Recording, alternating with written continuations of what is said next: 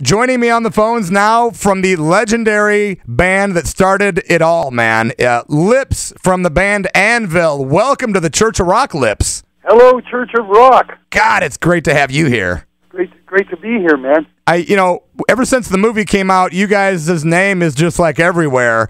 Um, how much of uh, Sasha, the guy that made the movie for you, and your friend, how much of his time is spent dealing with Anvil these days? Probably way more than he should do. no, he's so devoted and such an amazing guy, man. That's awesome. Um, can you discuss any of the offers that uh, Anvil has gotten since the release of the movie? Oh hell, we've been we've been playing pretty consistently all over the place. We did some shows with ACDC, which was was amazing. Wow. Um, we've been we've won awards at a number of different things. it's unbelievable, man. Like it's just endless, really, uh, kind of flow to this. Um, everything from playing in theaters, you set up a backline and play right as soon as the movie ended.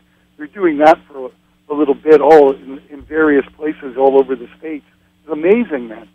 So you guys, you're giving your audience a double dose. They get the movie, and then they get Anvil to come out and play. How killer is that? Well, it's it's it's quite an emotional experience for the audience because here they've here they've connected with these characters in the movie, and then the characters come out and real life and start playing and turning. It actually transposes the movie into real life. It's really bizarre. Of course, it's it's not something that you know. It's not something that has ever happened before.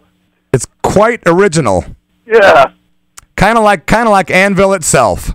Yeah, and everything to do with the movie and and the band. It hasn't been easy, and it, I, I don't see it as ever becoming easy. The whole the whole thing is that it's it's metal. It's it's not everybody's. It's not in everybody's palate. You know. Right. There's a, there's a lot of. I mean, it's certainly pushed the boundaries in a huge, huge way. In, in the sense that the demographics of the movie are way, way beyond the, the genre itself. Um, I got to ask you this: At what point, or have you already got to this point in your mind, or at what point will you consider your mission accomplished? Oh, the mission is never completely accomplished because long stream. Is what it really is. It's not. It's not like swimming across a lake. It's like swimming down a river. Well, the new album, This Is 13, love it, man. Love the album. Been playing the crap out of it. And uh, especially like, you know, Burning Bridges, um, Room Number 9, and Worry. Those are my favorite tunes. Wow, that's interesting. How's the new album selling so far? I, you know what? I don't know. but that, that's probably a good thing. They're not usually when it's hush up. It, it means that they don't want to tell you yet. well, that's kind of cool. Order isn't isn't done, so they're not going to give us a tally of what's going on for another little while anyway. Do you um still get out and meet your fans after the shows? Absolutely. In, in fact, I go to the I go to the extremes of telling people that you won't find the merchandise on the in the at the merchandise seller that we come out and meet everybody. You don't have to buy anything. You can come up and shake our hands, take a picture with us, and that's what we've done. And uh, throughout the um, Saxon tour and, and to the to the astonishment of, the, of those guys of the, what we did, because what we did is pretty much unheard of, where we stood outside the venue and waited for everybody to come out. Well, you're going to be in Chicago at the House of Blues January 10th. I've never seen you guys play live, dude, and I am so excited about seeing this show that I can barely sleep already. so I'm hoping I can walk away with a picture of myself with Anvil or at least with lips. Yeah, well, that's what I mean, and and, and that's important for for people, and I I think it's really important the the true connection between a band and its fans. It's not. It, it shouldn't be. It shouldn't be the way it's always been. Well, you know what, man? I wrote that way. It doesn't mean it has to stay that way. I wrote to you on MySpace and you wrote to me back, and that's how I got this interview. I guarantee, and no offense, but I guarantee, like one of the guys from Metallica would not be writing me back no matter what. No, probably not. And they have people that would write you back, but it wouldn't be them personally. Right. I'm still trying to really get a, a fix on it. You know, like it's it's it's not easy. I'm, I'm you know, I'm in the aspect of who, who should I take seriously? What should I take seriously? And where should I apply my time? Because I don't have, it's not in abundance as well. Hey, Lips, have you have you had um, a lot of people asking you to bring back the vibrator dildo? Yeah, that's that's made its comeback. hey, um, I was watching the movie and I was going to ask you how come you chose not to do the album Monument of Metal using Robbo's artwork? That's very interesting. We had had some artists do a, a few different renderings of it. It never got never got done, and then Robb Robb actually went ahead and and did it in oil paint.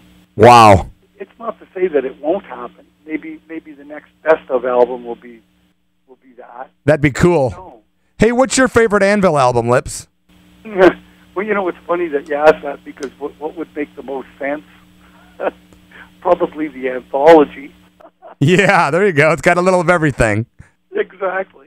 Um, I got a couple of people I want to throw names at you, and can you tell me your opinion of the band Rush? Well, to me, they were a band that that that has they're about I guess they're about three to four years older than me. Right.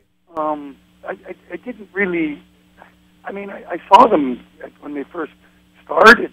I mean, I'm onto it immediately. Um, it didn't surprise me to see the success.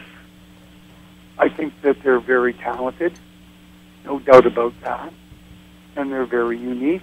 They have all the makings of what it takes to make it. So you're not a big Rush fan, though?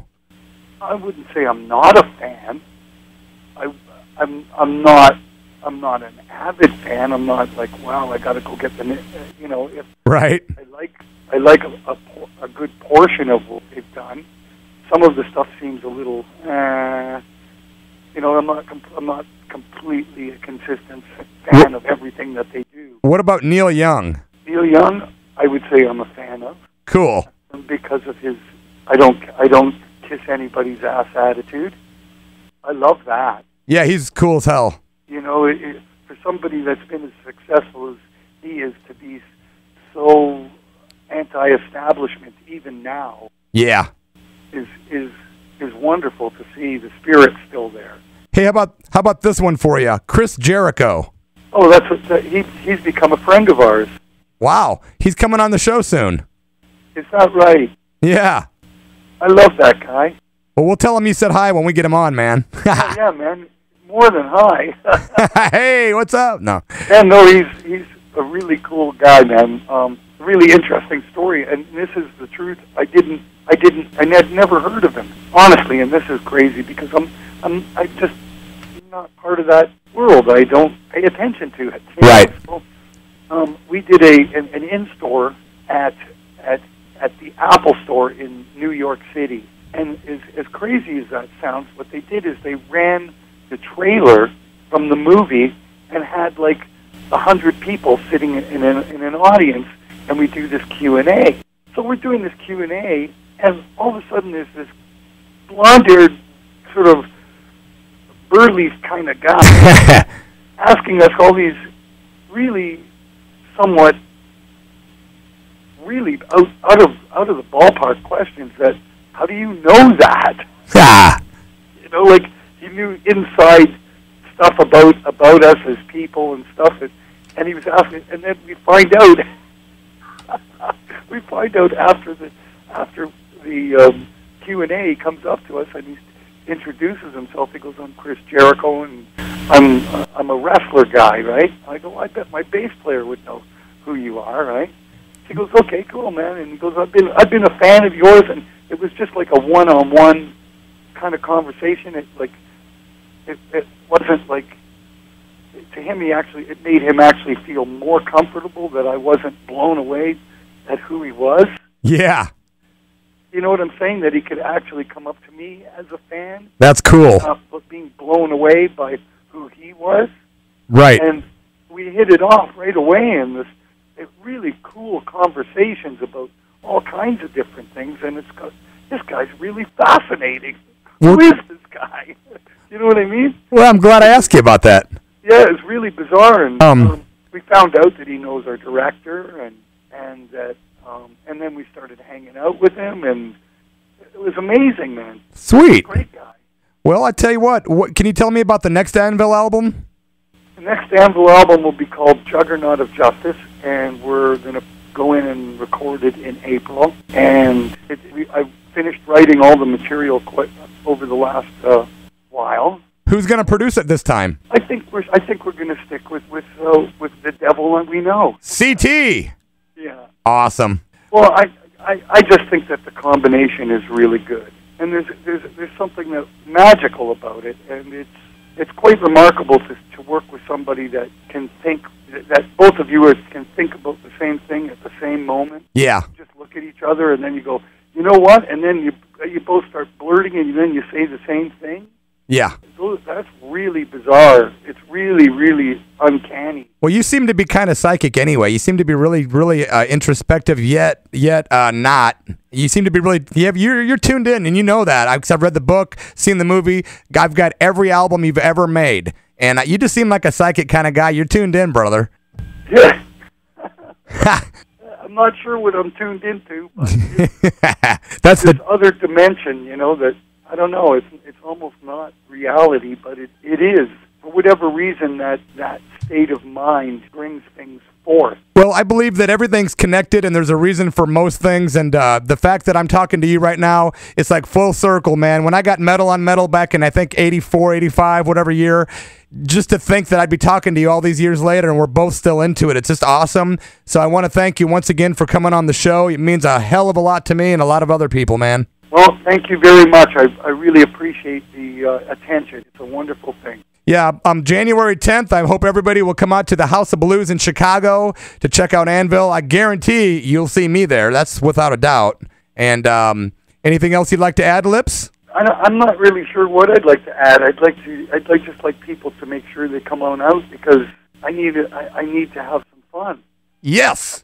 But once again, man, we bow down to you, and we love you guys so much. And thanks a million, Lips. Yeah, you take care, man. Thank you.